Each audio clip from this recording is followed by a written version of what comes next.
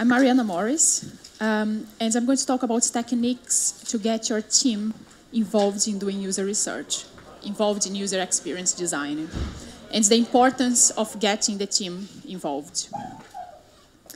I organize a monthly event called UX Oxford in England, and as an organizer and as a speaker in events like this one, I end up talking to a lot of people. And one thing that I'm very interested in is how is their design process, um, how design is uh, integrated with development teams. Um, one thing that I find, um, I, I, see a problem um, often, and it surprises me, is that there is a, still a lot of companies that don't have the concept of um, multidisciplinary teams. And, um, and with ideas from Agile and Lean Startup, we uh, learned better, better ways of doing um, working. Um, so we end up having, pro having problems like developers feeling frustrated that the design they've been given is flawed or doesn't work or is technically impossible to implement. Or designers feeling that they, their designs were not well implemented. So what happens is there is a delivering process between teams. And this is uh, inefficient. So it ends up, ends up being uh, us and them, different teams in different parts of the company.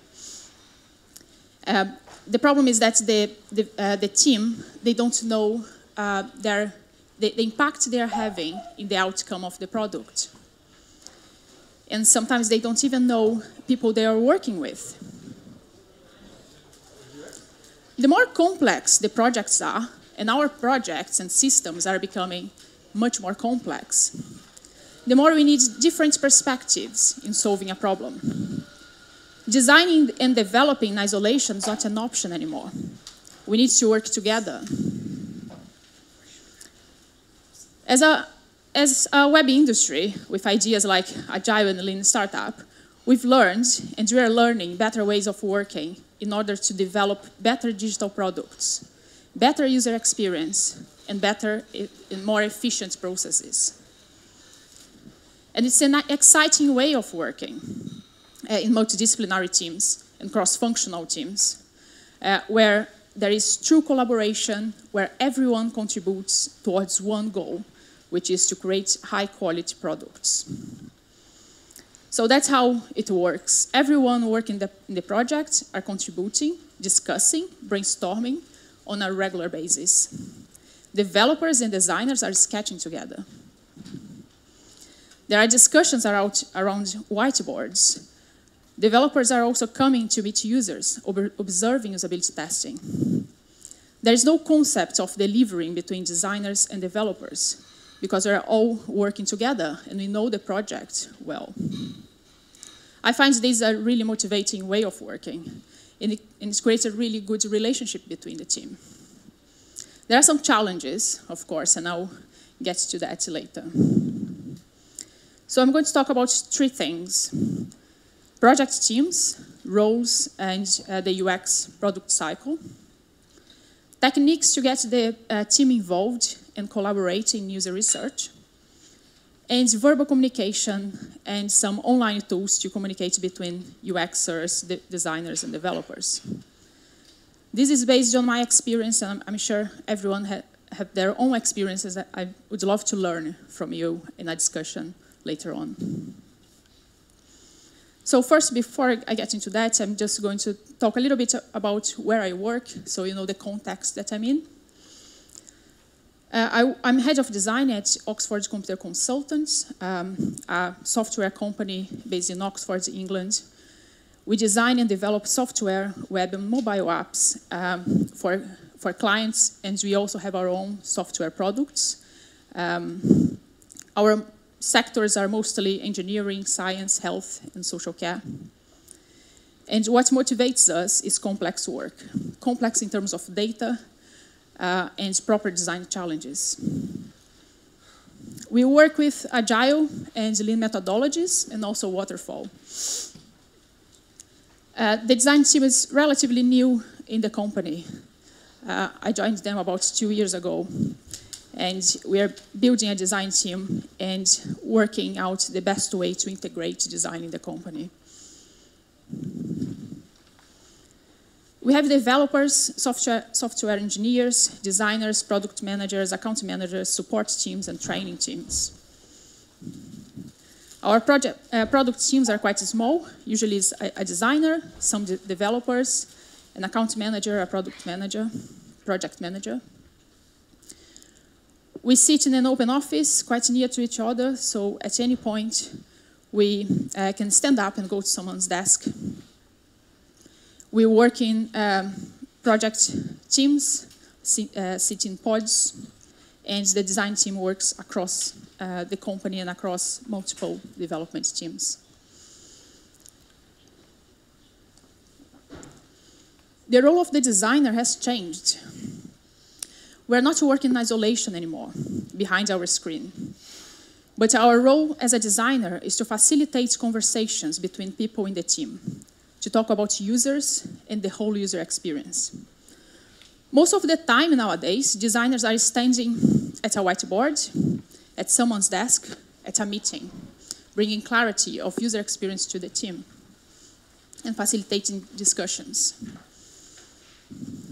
There is this tweet uh, by Caroline Jarrett that I really like. So, user researcher's fallacy is my job is to learn about users, whereas the truth is my job is to help my team learn about users.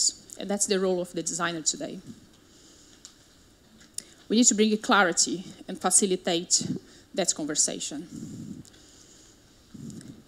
Uh, the government in the UK are giving an excellent example uh, about good user experience. They created a, like a design principles, and the first design principle is meet user needs, not government needs. So they're redesigning all the government services, online services. Um, and one of the things they say is that user research is, is team sport, is you know, getting the whole project team involved. Everyone is impacting on the user experience. User experience is something that the whole team should have a responsibility for. So the way I see is we have several team activities. Then the designer go, goes away because we need space to think. Go away, draw out some, some stuff and come back to, to the meeting. Um, I really like um, sketching with developers and sketching with the team. It's not about I sketch my idea and you sketch your idea and let's compare. It's not about that. It's about sketching together. We're scribbling, uh, scribbling in each other's sketches, you know. Everyone is in the kickoff meeting, listening, uh, listening and discussing project briefing, client's vision and, and, the goal, the business goal. And user research is across the whole process. One of, one of our design principles is that we meet users early and often. So user research is throughout the project. So I'm going to talk about some UX techniques to facilitate conversation and discovery. These are some of the techniques we, we use in almost every project the design team is involved in. We start by going where the users are. We meet them, talk to them in their natural environment. So this was a project for National Grid. Um, we were developing a tablet app for uh, engineers who has to calculate the gas flow that comes into the country. So we went to interview engineers who work at the power stations, at the, at the power station, and we spent a, a, day there with them. So who went there? It was me as a, the designer in that project at, at the time, project manager, the account manager, and the developer. So this was a calculation app the technology behind it was so important that it's impossible that me as a designer could get all the requirements and understand what the engineer was saying. It's really important that the technical person was there. And this was another um, project we were working on, is actually one of our products for social care. We needed to find out uh, how our product uh, worked with uh, the screen reader JAWS because uh, the major uh, user for this product, for this client, was um, visually impaired. So we went there, and it was um, me uh, as the designer, and Paul, who is from support and training team. Now, uh, if the user will have a problem after you deliver the project, they are going to call the support team, and they are going to have a massive impact in that user experience. So Paul needed to be there to understand the user.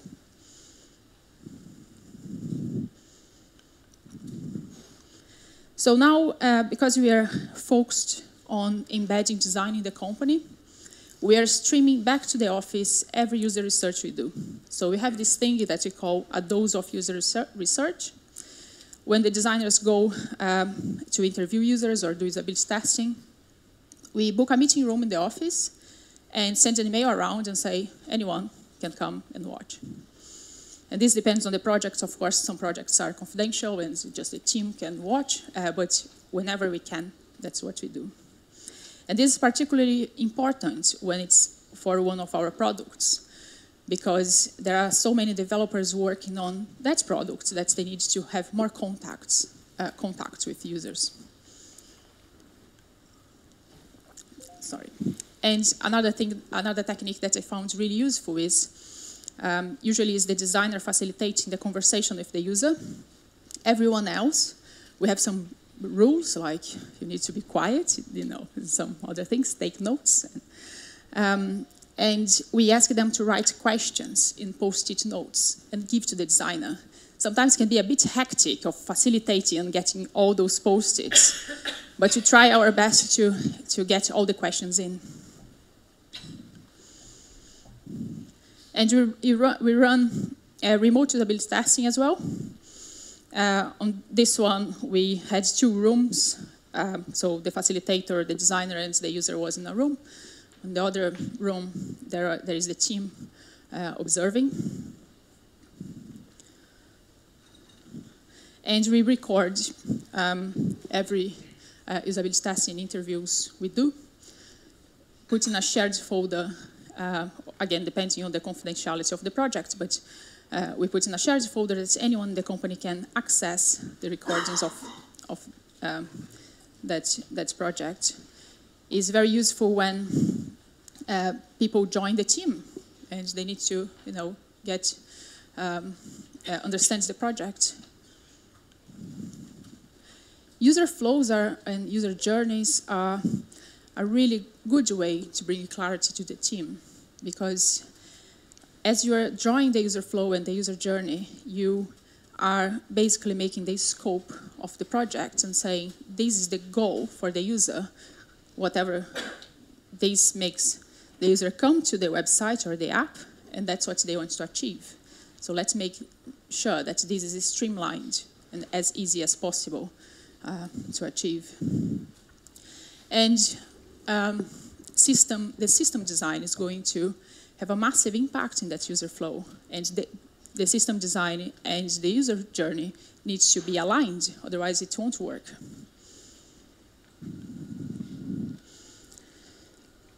So we have um, in agile projects, we have um, like grooming sessions and planning sessions. And often there is the user flow the uh, wireframes or designs there in front of them that um, we are going to create tasks based on those things. And um, the interesting thing is, um, I, this is one technique that I just came up with when I needed to get uh, the feed, uh, feedback from developers. Um, it's very easy when you are in a meeting with five people, um, that that, is, that discussion is not very focused. And you really need to focus to get the feedback you need um, in, on your designs and your ideas.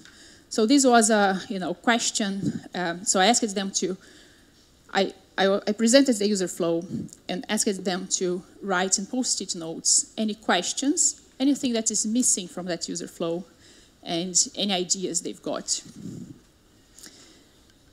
And then you end up having something like this. So one of the uh, calls to action was uh, I, I said that the user would print a checklist, but that was a tablet app. So how would they print in a, in a power station? They don't have the, the printer there. And that are the things that you identify flaws and problems in, in that flow much earlier. In my defense, that was also a web app, so that was what it related to.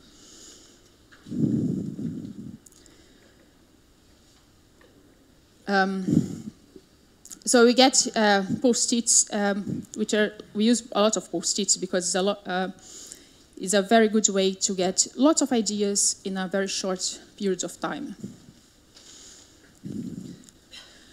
We use uh, also this uh, technique, uh, this template that was done by Roman Pichler, and I really recommend, uh, which is called the product canvas.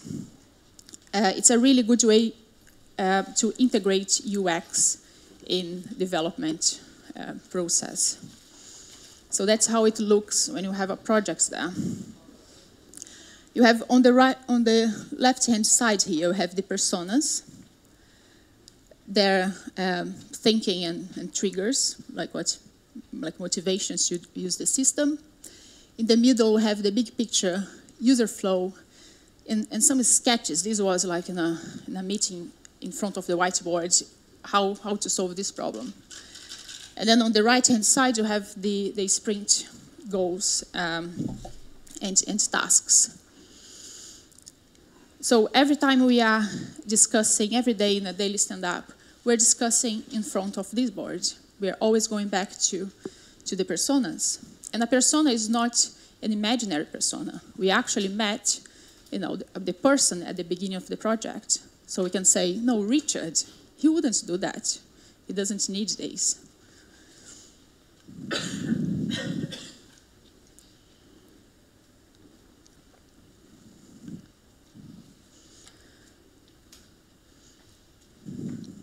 So we do, you do a lot of sketching, as I said before, um, development and, and uh, designers working together.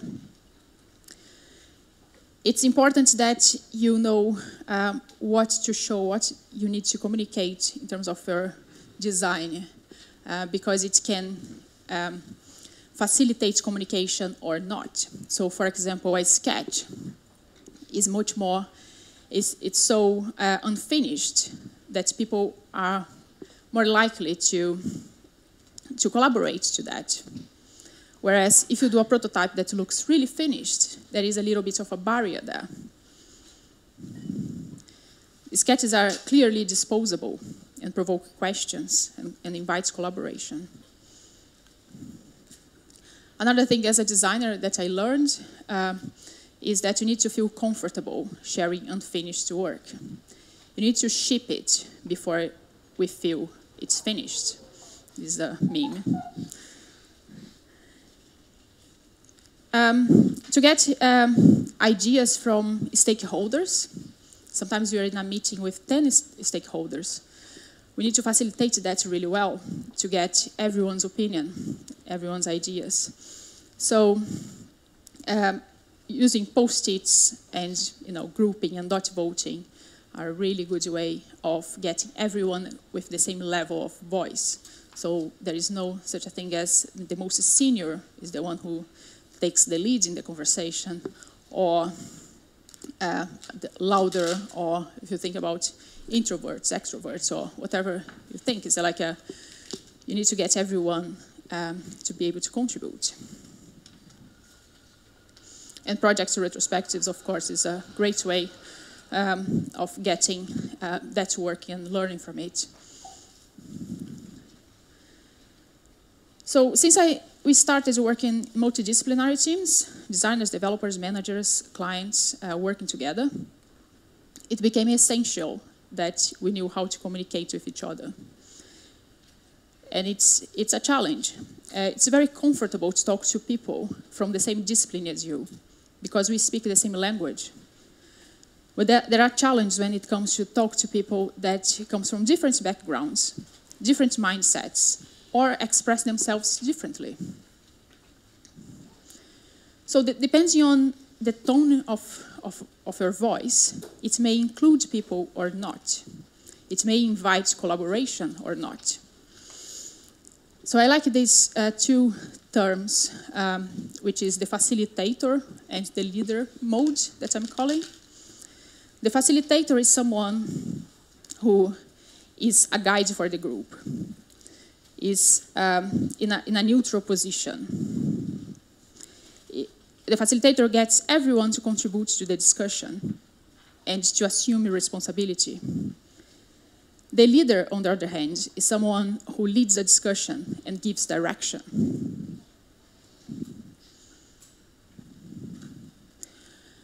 As you come from different perspectives, we all talk in different ways. When you are running workshops, like internally or with the client, we need to know what language, or what tone we, we should use in that discussion. So the facilitator language is more warm and neutral, is actively uh, listening, is passive, and it has a passive and inclusive uh, tone. So we might say something like, how about, maybe we can, what if? Uh, I see this working very well uh, in briefing meetings, for example. The client comes with their product, their idea, uh, and they, are, they just want to share that. They are so passionate about it that you really need to listen at the beginning. Um, and also in brainstorming sessions. The leader language is about showing competence. You're the expert. Is direct and muscular language. So it's something like, this is my plan. This is absolutely right, and here's why. And I completely agree. And this is very important when you're presenting your designs, for example. The client needs to feel that uh, you know what you're talking about. So you need to use a much more strong language sometimes. But what I find is, is a mixture. In one meeting, you might have one or the other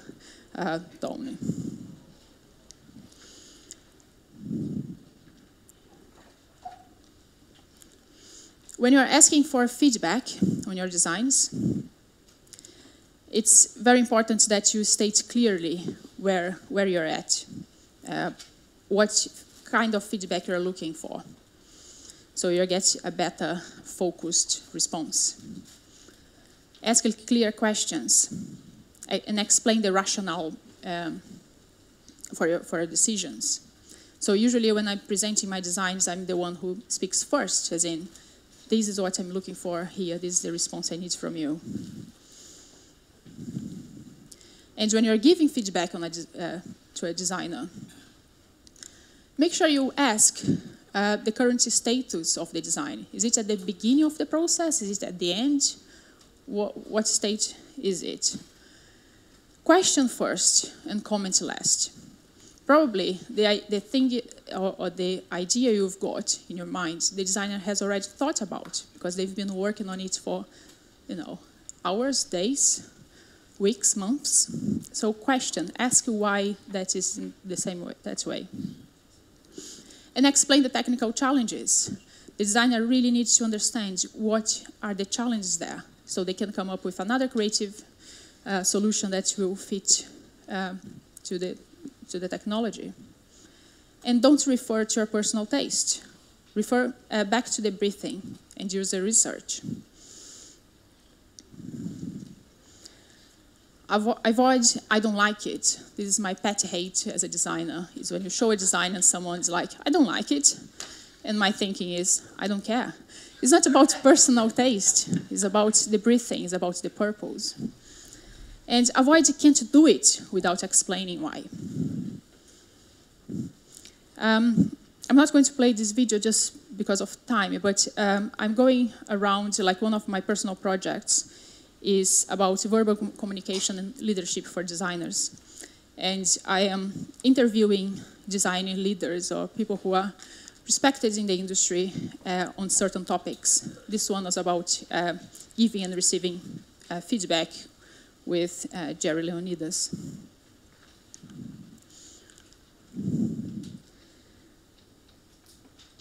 So designers ask a lot of questions um, because we need to understand uh, the, the status quo. We need to understand the restrictions of a project and the technical restrictions.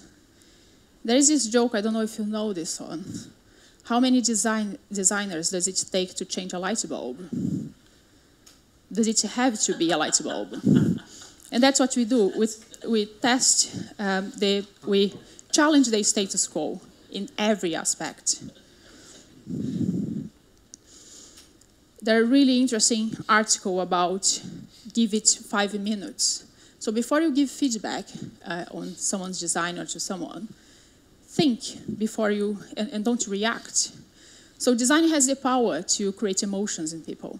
And it's very easy, um, even for designers, to give, uh, it's very hard to give feedback sometimes because you are full of that emotion, you know, as in, I don't like it. But have a think uh, of 10 seconds helps, and then give your feedback, and question why it's that way.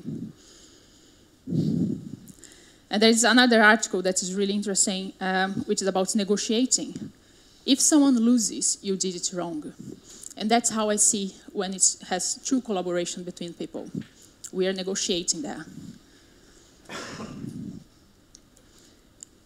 There are some communication tools, and I'm sure everyone is um, using different tools. Um, but the tools that you choose are very important to, to keep that collaboration. So things like GitHub comments, uh, where involve the designers uh, in that uh, circle as well, and account managers and project managers, or task management tools um, that you can, you know, comment uh, to a designer. They can uh, upload the designs, and you can have that communication with you uh, between people. And then you end up having something like, you know, a developer attaching an image saying, this, you know, I implemented your design, but this doesn't look right. And then you upload again a mock-up saying, no, okay, let's do this way then. And um, as uh, Kathleen was talking about remote work, this is uh, a tool that I find interesting, which is uh, the videos and people are always there. So it's almost like the tap of the, uh, on the shoulder. Uh, you just click on an image and that becomes a video of the person. So this is my uh, experience about collaborating and getting UX integrated with development. But let's not settle. We work with technology and that's always changing and this process will change. So let's keep meeting up, discussing, improving regularly. Thank you.